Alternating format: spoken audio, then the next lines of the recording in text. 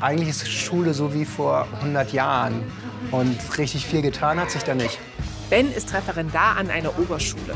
Er findet die Arbeitsbedingungen ziemlich oldschool. Lena hadert mit ihrem Lehramtsstudium. Sie sagt, Schule bereitet Kinder nicht gut aufs Leben vor.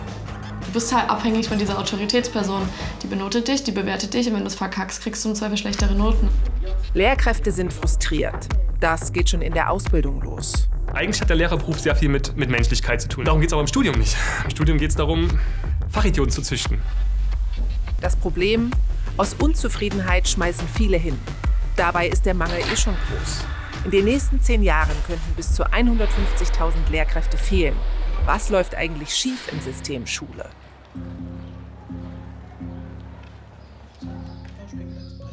Auch ich merke den Lehrermangel deutlich. Ich habe zwei schulpflichtige Kinder. Bei meiner Tochter sind allein in einem Winterhalbjahr 120 Stunden ausgefallen. Das entspricht einem ganzen Monat Schule. Die viel zu wenigen Lehrkräfte müssen oft Lücken stopfen, fachfremd unterrichten und den Laden irgendwie am Laufen halten. Wie ist es, in so ein System zu starten?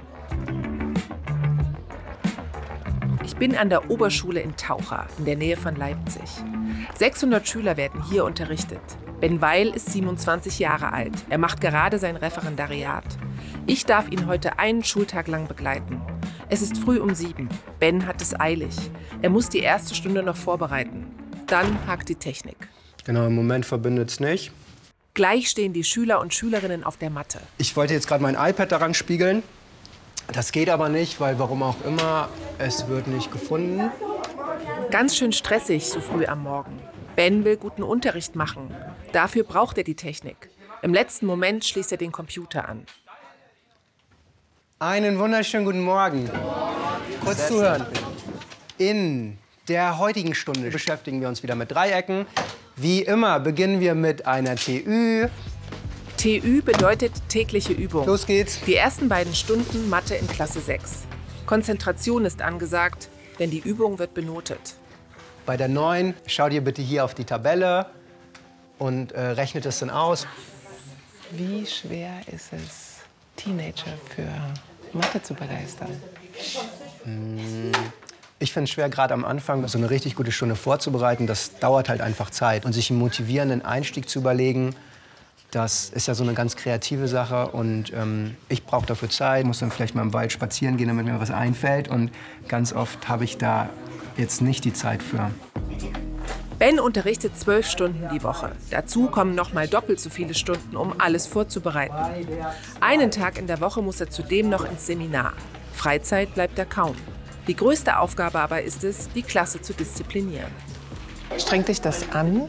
Es ist die Hölle. Es kostet dann immer auch Konzentration, weil eigentlich ist es ja mein Job, was zu erklären, was zu zeigen und dann nebenbei noch andere ähm, Sachen wahrzunehmen und darauf zu achten. Dieses Multitasking ist total schwierig. Lehrkräfte. Früher angesehene Respektspersonen, die eine ruhige Kugel schieben. So war zumindest das Image. Heute ist alles komplizierter geworden. Und deine eigene Schulzeit ist ja jetzt noch nicht ewig her. Was ist denn heute anders? Heute, ich glaube gar nicht so viel. Also klar, wir haben hier auch in diesen Räumen noch die digitalen Tafeln, aber ansonsten habe ich das Gefühl, eigentlich ist Schule so wie vor 100 Jahren und richtig viel getan hat sich da nicht. Findest du es gut oder schlecht?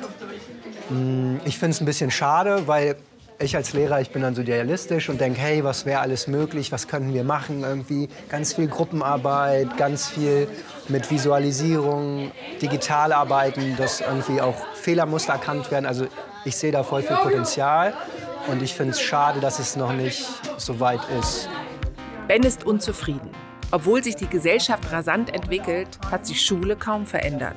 Es geht um Fächertrennung, Standardisierung und Bewertung. Eine Lehrkraft steht vor einer Klasse. Alles ist streng hierarchisch organisiert. Aber jetzt wird's laut hier. Jetzt wird's laut hier. Dann schaut ihr bitte nach vorne. Wir vergleichen die Ergebnisse. Ben will mit seinen Schülern gut in Kontakt sein. Am Ende jeder Stunde gibt es ein Feedback-Ritual. Heute waren es besondere Umstände. Es war heute nicht einfach, sich zu konzentrieren. Ich finde trotzdem, ihr habt es richtig gut gemacht. Deswegen heute für alle zwei Erbsen. Habt eine schöne Pause. Tschüss. am Ende der Stunde gehe ich immer alle Schülerinnen und Schüler durch, ob die nicht gestört haben und ob die gut mitgemacht haben. Dann gibt es immer zwei Erbsen. Wenn das Glas voll ist, machen wir eine Spielestunde. Pause. Ben versucht immer noch, sich ins Internet einzuloggen. Ich hole jetzt erstmal die äh, iPad-Koffer. Okay. Kommt ruhig mit. Alles muss schnell gehen, denn die nächste Stunde geht gleich wieder los. Ich finde, die Technik muss einfach funktionieren. Jeder Bürojob, jede Bank, wenn da der Computer nicht geht, dann kann man den Job einfach nicht und, äh, bei gleicher Qualität machen. Also die Digitalität, die hat Vorteile und die können wir auch, oder die möchte ich auch nutzen, um den Schülerinnen und Schülern besseren Unterricht zu geben. Und dann müssen wir einfach ähm, mehr in IT investieren und dann brauchen wir hier an der Schule einfach mehr Leute, die oder dass unsere Informatiklehrer mehr Zeit haben, sich um die Instandhaltung der Infrastruktur zu kümmern. Er ist die ganze Zeit busy und in jeder Stunde für über 20 Schüler und Schülerinnen verantwortlich. Ben ist Wissensvermittler, Bezugsperson und Seelsorger in einem. Das ist sehr anstrengend, gerade am Anfang. Ich habe aber auch nicht das Gefühl, dass die Lehrkräfte, die diesen Job schon äh, länger machen, dass es denen jetzt viel, viel einfacher fällt. Mhm. Oder dass die, also klar, denen fällt es einfacher, aber auch die ähm, habe ich sehr oft das Gefühl, dass die ähm, auch diese Überlastung merken. Überforderung ist eh ein großes Thema. Knapp ein Viertel aller angehenden Lehrkräfte leidet unter Burnout-Symptomen. Fast ein Drittel schmeißt bereits in den ersten fünf Jahren wieder hin. Ben versucht sich gut abzugrenzen. Das Internet geht immer noch nicht, die neue Stunde aber schon wieder los. Gut, dann zur Begrüßung bitte hinstellen. Klappe die zweite. Matheunterricht in Klasse 8. Ben wartet, bis alle ruhig sind. Einen wunderschönen guten Morgen. Mittlerweile ist es fast 11 Uhr. Ben ist seit früh um 6 auf den Beinen. Und hast du jetzt zwischendurch mal was gegessen? Habe ich noch nicht geschafft heute. Ähm, manchmal gibt es sich, dass man zwischen den Stunden die Zeit hat, ähm, was zu essen, kurz mal so fünf Minuten. Aber genau, meistens muss man noch ganz viel organisieren oder manchmal auch improvisieren und dann schafft man das nicht. Würdest du lieber heute in die Schule gehen? bekommen das ja mit, dass ganz viel Unterricht ausfällt und das ist ja schon ein Problem. Und ähm, meine Chancen, was zu lernen, sind dadurch ja viel, viel geringer, wenn viel Unterricht ausfällt. Und ein Viertel der Neunklässler verfehlte 2021 den Mindeststandard für den mittleren Schulabschluss in Mathematik. Weniger Unterricht bedeutet eben auch weniger Leistung. Hier an der Oberschule in Taucher fallen rund 10 Prozent des Unterrichts aus. Zudem mangelt es an Sozialarbeitern und Schulpsychologen vieles wird halt nur, manchmal auch nur so zusammengequetscht. Also einige Themen werden dann gemeinsam einfach verbunden in einer Stunde oder so und kann man sich dann nicht so wirklich drauf einlassen.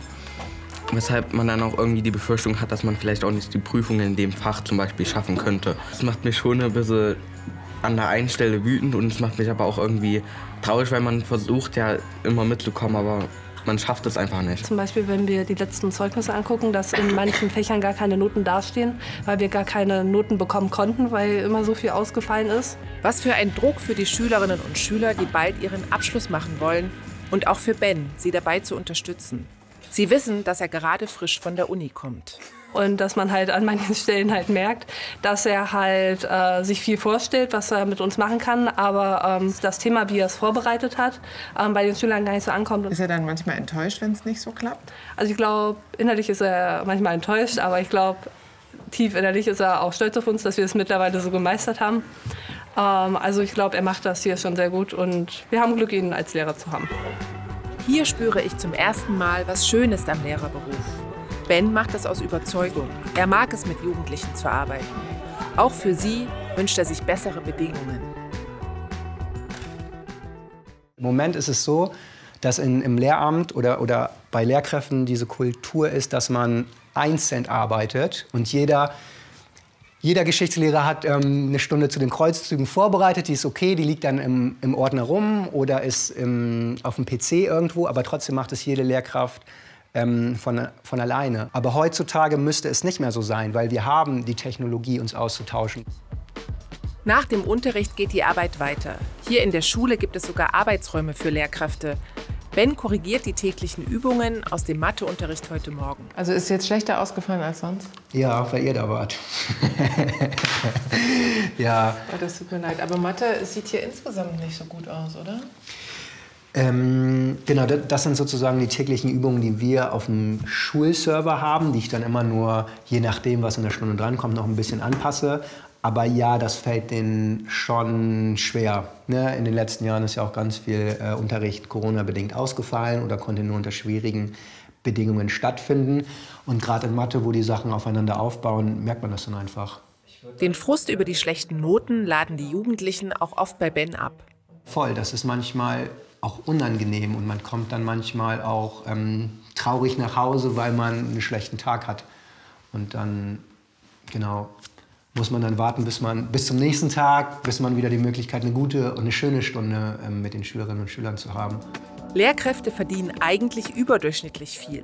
Als Referendar geht Ben im Moment aber nur mit 1200 Euro netto nach Hause.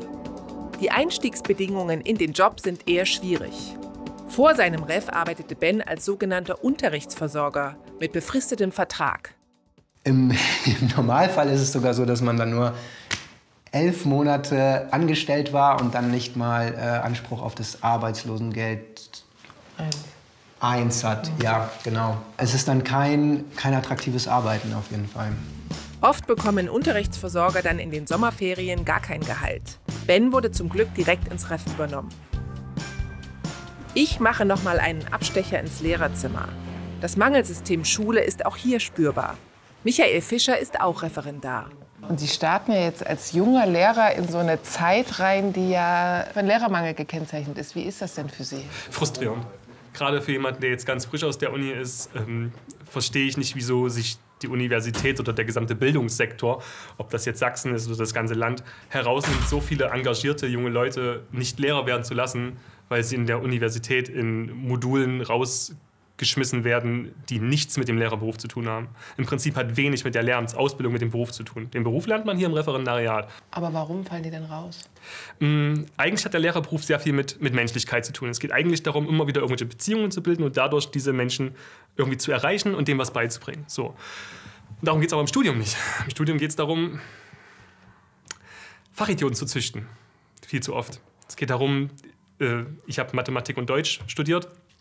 Äh, in so vielen Modulen war es so knapp, weil man irgendwie mit Numerik oder diskreten Strukturen als, als Modul konfrontiert wird, die, die nicht mal tangiert werden von dem, was wir hier unterrichten. Aber es das heißt natürlich, wir müssen über den Tellerrand schauen und deswegen werden da so viele Leute, weil sie diese 4-0 dort nicht schaffen, kategorisch aussortiert, die uns jetzt natürlich fehlen. Das heißt im Prinzip diesen Lehrermangel, den wir, den, von dem wir immer sprechen, der müsste nicht da sein, wenn man die guten Leute nicht so rausschmeißt in den frühen Semestern schon. Um rund 14 Prozent sank die Anzahl der Lehramtsabsolventinnen und Absolventen in den vergangenen zehn Jahren. Die einen werden aussortiert, andere sind schon in der Uni desillusioniert. So wie Lena. Sie ist im fünften Semester an der Uni Halle für Grundschullehramt Mathe, Deutsch und Sport eingeschrieben. Doch derzeit liegt ihr Studium auf Eis. Je länger sie studierte, umso mehr kam sie ins Zweifeln. Ich glaube, ich habe eher so ein bisschen auch da so Probleme mit meinen persönlichen Ansprüchen weil ich das ja schon mache, hauptsächlich aus diesen pädagogischen Beweggründen heraus. So, weil ich Lust habe, mit Menschen zu arbeiten und die halt auch pädagogisch zu unterstützen und zur Seite zu stehen. Ich sage immer, jedes Kind lernt jetzt zu einem unterschiedlichen Zeitpunkt laufen und reden. Und dann sollen sie alle zur gleichen Zeit schreiben und rechnen lernen. Und das funktioniert ja nicht. Lena will jedem Kind eine individuelle Lernbetreuung geben. Doch ihr Studienplan ist darauf nicht ausgerichtet. Zu wenig Praxis, zu viel fachliche Theorie. Um wirklich allen Schülern und Schülerinnen gerecht zu werden, bräuchte es kleinere Klassen, sagt sie, und mehr Gemeinschaft. Ja, dass es irgendwie ein grundlegendes Problem ist, dass für irgendwie Kindern aus bildungsferneren Familien die Schule viel schwerer ist, dass irgendwie Schülerinnen mit einem Migrationshintergrund in vielen Fällen weniger eine Bildungsempfehlung bekommen oder dass auch Inklusion ein Thema ist, was irgendwie an Schulen gar nicht stattfindet, wo man sich halt fragen kann, okay, funktioniert das dann noch? Weil es funktioniert dann eigentlich nur für Kinder, die hier groß werden, die Deutsch als Muttersprache haben und die Eltern haben, die sie sehr doll unterstützen und alle anderen müssen die Fehler des Systems dann persönlich austarieren. Ich finde auch, dass in der Schule alle dieselben Chancen haben sollten. Aber wird etwas besser, indem man sich abwendet? Auch weil Lena keine guten Erinnerungen an ihre Schulzeit hat, sieht sie den Lehrerberuf heute so kritisch. Du bist halt abhängig von dieser Autoritätsperson. Die benotet dich, die bewertet dich und wenn du es verkackst, kriegst du im Zweifel schlechtere Noten. Und alleine dieses Verhältnis setzt schon viele, also bringt schon viele Fragen auf, glaube ich. Lena sieht hier strukturelle Probleme. Deshalb kann und will sie das System Schule eigentlich nicht länger unterstützen. Sie wird aus der Statistik rausfallen. Gerade etwas mehr als die Hälfte der Lehramtsstudierenden beendet ihr Studium überhaupt. Eine egoistische Entscheidung in Zeiten von Lehrermangel? Also ich mache das, damit es mir mental noch gut geht und ich nicht zusammenbreche jeden Tag. Aber ich glaube halt auch Schülerinnen und Schülern bringt es nicht, eine Lehrkraft zu haben, die jeden Tag mit dem Job irgendwie sich denkt, oh, eigentlich wollte ich das anders oder eigentlich würde ich da gerne mehr reinstecken, aber ich habe die Kapazitäten nicht. Wenn schon Studierende den Job an den Nagel hängen wollen, bevor er überhaupt losgegangen ist und zu wenige Lehrkräfte nachkommen, frage ich mich, wie Kinder zukünftig gut lernen können. Ben engagiert sich in der Gewerkschaft. Er setzt sich dafür ein, die Arbeitsbedingungen für Lehrkräfte zu verbessern und damit auch die Lernbedingungen für Schüler und Schülerinnen. Damit ist er nicht allein. Nora Ömichen aus Baden-Württemberg geht sogar noch weiter. Sie fordert eine grundlegende Transformation des Schulsystems. Ich würde mir natürlich wünschen, dass ich eines Tages äh, so weit bin, dass ich am Sonntagabend sagen kann, yeah, morgens Montag in die Schule geht wieder los. Da, da muss sich wirklich fundamental im System was ändern.